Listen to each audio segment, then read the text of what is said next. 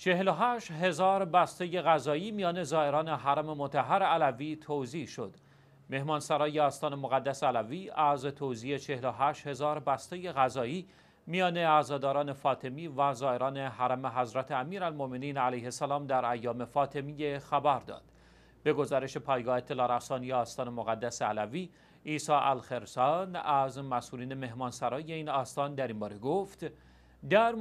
های مختلف این مهمانسرا شاهد حضور تعداد زیادی از زائران است و روزانه 6000 وعده غذایی میان زائران توضیح می شود که این تعداد در هفته گذشته به 48 هزار بسته غذایی رسید. و افزود به جز مهمانسرا در سنهای مختلف علوی نیز بسته های غذایی میان زائران توضیح می شود پیش از این نیز این آستان مقدس با اشاره به حضور میلیونی عزاداران فاطمی از پذیرش هزار خادم داوطلب برای کمک به زائران و خدمت رسانی به خیل عظیم عزاداران خبر داده بود.